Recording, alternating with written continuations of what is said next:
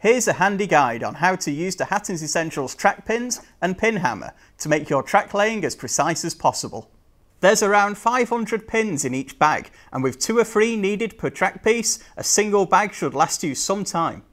Simply align the pin with the hole in the track, use pliers to hold it in place and hammer the track pin in. This is the same for point work and set track pieces in N or OO gauges. For flexi track or larger scale track without holes, use a Dremel, awl or drill to make a hole, then continue as before.